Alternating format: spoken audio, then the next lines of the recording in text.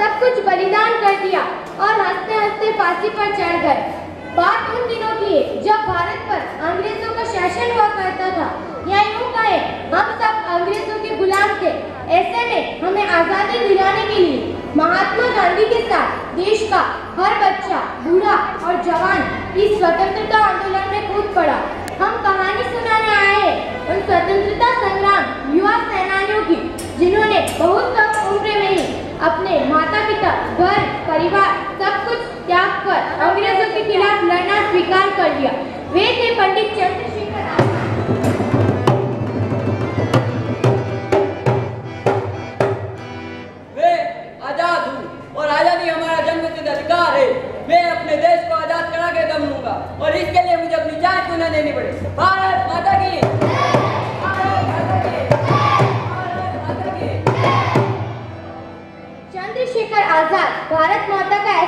ऐसा जिसके नाम से अंग्रेज़ भय से कांपते थे। इरादे इतने बुलंद थे कि पर्वत भी इनके आगे झुकने पर मजबूर हो जाते। जिसका नाम चंद्रशेखर आज़ाद था, इनके नाम में आज़ाद जुड़ा था। शायद कारण था, इन्होंने अंग्रेज़ों के आगे झुकने से मना कर दिया। और इनके दूसरे साथी थे सरदार भगत सिंह।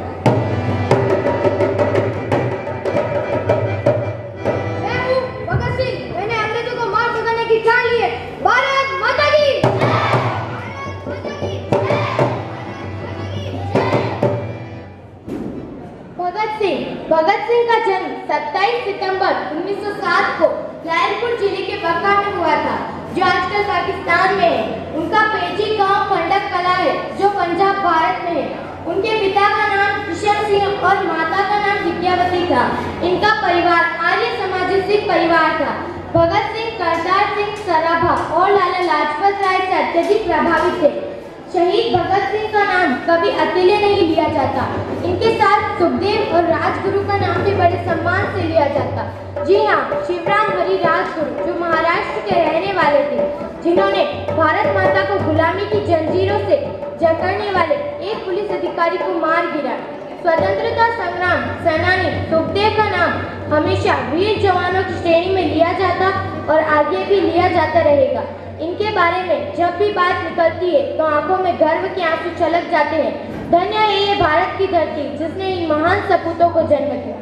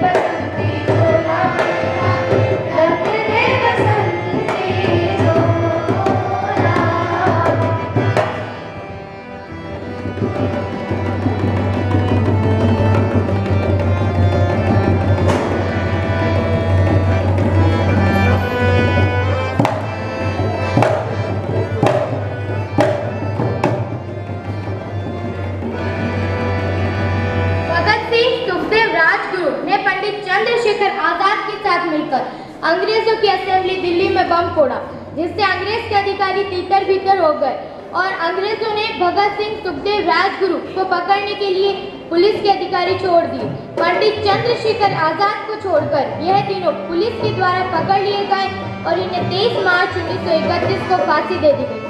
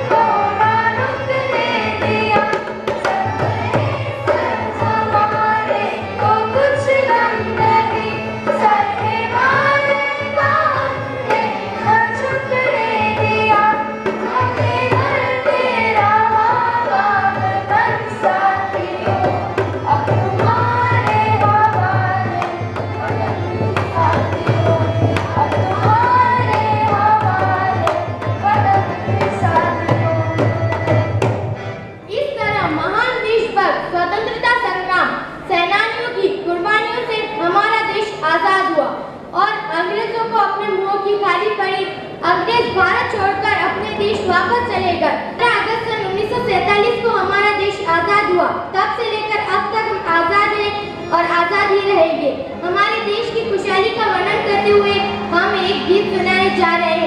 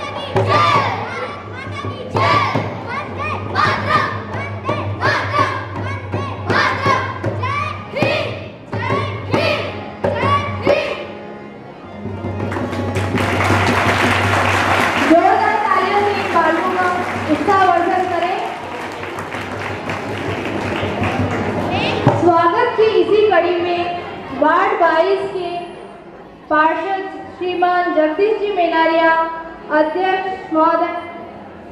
मैं इस गीत नाटिका की नरेटर पूजा, आप सभी के सामने उन बाल कलाकारों का परिचय करवाना चाहती हूँ। पंकज एफ़ पंडित चंद्रशेखर आज़ाद।